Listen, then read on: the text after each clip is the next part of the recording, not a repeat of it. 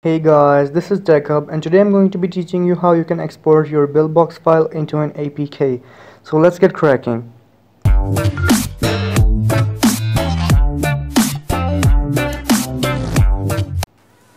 Okay, so first open up your Buildbox and you need to choose your project file. Okay, so I'm going to create a new project just for demonstration purposes. So here we have the project uh, let's not just change anything. I'm just gonna go to file and click on export. You need to choose Android okay? So okay it, uh, it has no bundle ID let's continue this just just for the tutorial. So I'm just gonna save it into the desktop. Okay so uh, save it right inside the uh, your folder.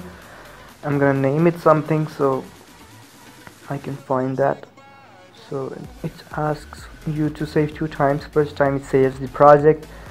The second time it saves the um, export file. So let's click on the save button.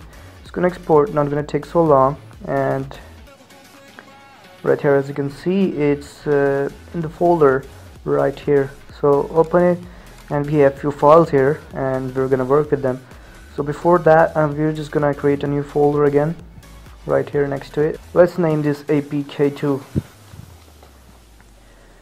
so since we got that done go ahead and install your android studio. The link is given in the description or you can google it it's easy. So let's open our android studio.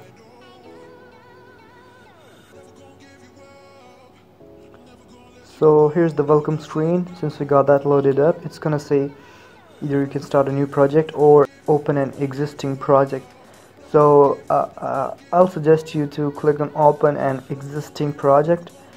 So uh, it's gonna load up the screen. So let me just quickly go to that folder real quick. So here we got that.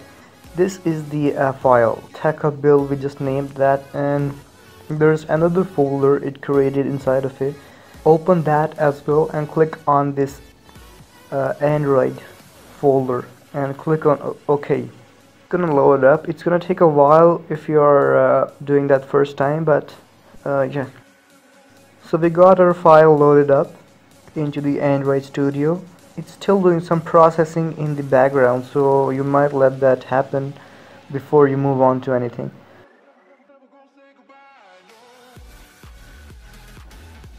So it's finished. Okay then you want to go to your SDK manager. It's over here.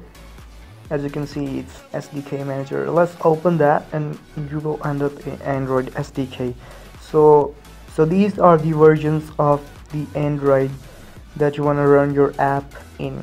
So uh, it's better that you select each uh, version of it and install it. It's gonna show install when you have installed it. So since I've got that done let's go to SDK tools and um, here are some things you have to download. First of all there is build tools emulator platform tools and the SDK tools. So uh, you might as well download this because it will help the build of the app. So let's go back to our uh, main project menu. Okay so now you want to go in build Gradle. It's the project Android. Let's drag it this in here okay so uh, when you drag it in here it's gonna show some codes. Don't mind that. Let's go to build and click on generate signed APK so it's asking for key store path. It's a thing which only you can access for the app. So I'll explain that in a bit. So let's click on create new. And I want to create a key store path. So let's click on these dots. And I want to save it onto the desktop and uh, you're gonna name everything up so I'm gonna just just for demonstration I'm gonna give it a password.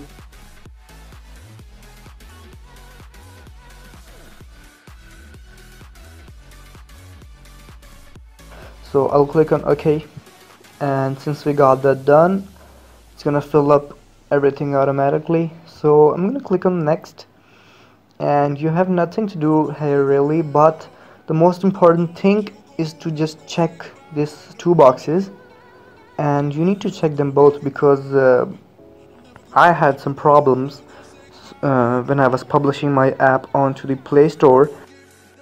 So let's click on finish and that's all you gotta do. So it's gonna do some background processing as you can see this blue progress bar. So let it happen let it be wait for a few minutes okay so it finally succeeded to complete the APK file. As you can see right here it generated the signed APK so let's go to our file. Let's see if it created or not. Okay so we got the APK file as you can see right here from a whole bunch of files to a single APK I've created a game as well guys so if you want to download it the link is in the description. As you can see the preview on the screen it's a platformer game. You need to collect coins and jump obstacles and it's really a fun game. So you might want to try that. So uh, this was Tech Hub guys. So peace